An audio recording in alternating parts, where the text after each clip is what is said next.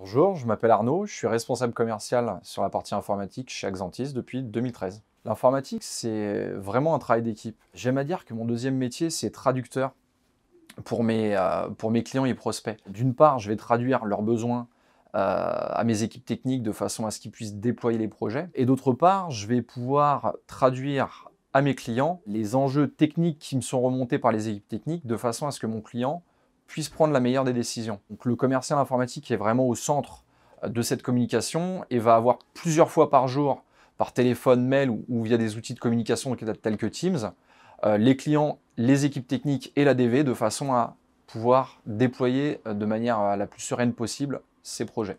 Aujourd'hui, il y a deux choses qui m'animent dans mon métier. La première, c'est qu'Axantis, c'est une boîte jeune et dynamique qui est vraiment attachée à la culture des résultats et finalement, ça exacerbe mon côté compétiteur. Donc c'est vraiment un challenge de tous les jours de travailler chez Axantis. Et ça, c'est vraiment très intéressant.